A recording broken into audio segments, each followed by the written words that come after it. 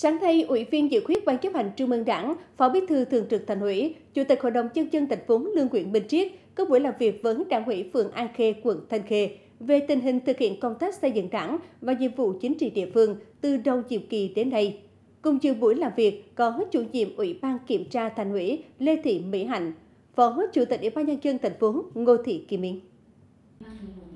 Từ đầu nhiệm kỳ tới nay, Đảng ủy phường An Khê cơ bản lãnh đạo thực hiện tốt các nhiệm vụ đề ra. Công tác xây dựng đảng, xây dựng chính quyền, mặt trận đoàn thể được chú trọng. Tuy nhiên, công tác kết nạp đảng viên mới, nhất là đảng viên khu dân cư không đạt chỉ tiêu nghị quyết đại hội đảng bộ thành phố đề ra. Tình hình thực hiện các nhiệm vụ phát triển kinh tế xã hội, đảm bảo quốc phòng an ninh được chú trọng, nhưng còn gặp nhiều khó khăn.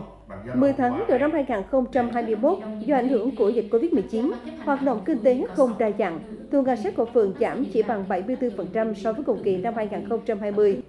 Đảng ủy phường An Khê cũng kiến nghị một số vấn đề quan tâm chế độ chính sách cho đội ngũ, cán bộ, công chức, người hoạt động không chuyên trách phường xã, tổ trưởng, tổ phó, tổ dân phố, cũng như việc đẩy nhanh triển khai các chủ trương chỉnh trang đô thị, cải tạo kiến trúc trên địa bàn. Phát biểu kết luận cuộc họp, Phó Bí thư Thường trực Thành ủy, Chủ tịch Hội đồng nhân dân thành phố Lương Nguyễn Bình Triết đánh giá cao kết quả Đảng bộ phường An Khê đạt được trong thời gian qua, nhất là trong công tác phòng chống Covid-19. Về công tác xây dựng Đảng, Phó Bí thư Thường trực Thành ủy nhấn mạnh, Đảng bộ phường cần tăng cường kiểm tra, giám sát các tổ chức cơ sở Đảng, nâng cao chất lượng hoạt động chi bộ.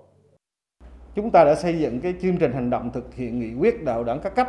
thì phải cụ thể hóa nó, phân công thực hiện và có sản phẩm cụ thể, tiếp tục linh hoạt à, và tổ chức đa dạng các hình thức để quán triệt tuyên truyền nghị quyết chủ trương của đảng à, kịp thời. Nhất là nghị quyết đại hội 13 của đảng quan tâm thực hiện cái kết luận 21 về xây dựng chỉnh đốn đảng về hệ thống chính trị. Hết sức quan tâm nâng cao cái chất lượng sinh hoạt chi bộ hiện nay tăng cường tính chiến đấu sức chiến đấu của tổ chức đảng hiện nay là vấn đề cốt lõi mà vấn đề gắn với sự sinh tồn của chế độ đó. tôi đề nghị các đồng chí phải hết sức quan tâm đến vấn đề này Phó Bí thư Thường trực Thành ủy cũng yêu cầu phường An Khê chủ động xây dựng kế hoạch phòng chống dịch gắn với phát triển kinh tế xã hội trên địa bàn, tập trung hoàn thành các chỉ tiêu kinh tế xã hội trong năm 2021, nhất là chỉ tiêu thu ngân sách, nâng cao chất lượng hoạt động thương mại, dịch vụ, khai thác hiệu quả tuyến phố chuyên doanh, phát triển các sản phẩm đặc trưng theo chương trình mỗi xã phường một sản phẩm nhằm thu hút lực lượng lao động tại địa phương.